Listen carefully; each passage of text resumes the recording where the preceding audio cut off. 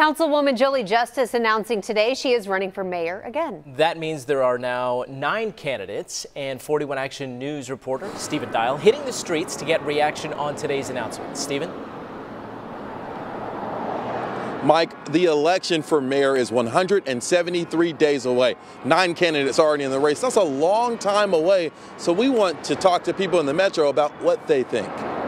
I'm using this video to tell She's running again. When Jason made his really courageous decision to step out of the race and get the help that he needs, I, I looked at it and said, well, I still want to be mayor for the exact same reasons, which is we've got a lot of great things going on in Kansas City right now, but we still have a lot of work to get done. Jolie Justus says her priority will be public safety, the airport, and following through on go bond promises. I need to make sure that we have strong leadership at City Hall to accomplish all of the things that that the voters have put in our trust. Nine people running for mayor. The primary election 173 days away. So I hit the streets to see who are people voting for. Do you know who's running for Kansas City mayor? No idea. Aside from Mahomes going to give you guys that L, do you know who's running for Kansas City mayor? I do not. Can you name any of them?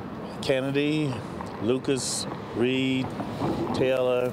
This guy actually knows. If you work for the city, like I do, I'm concerned about the mayor's race as well as the midterm. Okay, he works for the city. Never mind. So what's the deal? Why aren't people excited about the election in April? Midterms coming up. You got a bunch of school stuff going on, so no, probably not. People are really focused on the midterms extremely, probably for a good reason. Even Councilwoman Justus agrees the focus is not on City Hall at this time. We haven't even opened filing yet for the mayor's race. The filing doesn't even start until December. While many minds are on the midterm election, voters here say they want the next mayor to focus on crime, housing, and transportation.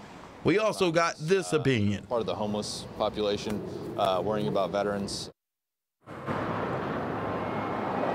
Well, speaking of those midterm elections, less than 30 days in November from today. And if you're a Missouri voter, well, you got to be quicker than that because you already missed the deadline to register to vote in Kansas. You have until next Tuesday. Reporting live, Stephen Dial, 41 Action News. Still some time on the Kansas side. Thank you, Stephen. So these are the nine candidates that are running for mayor in Kansas City. Most of them are council members. Some are in the business community. There are still there's still time, though, for more candidates to file because that primary election is not until April.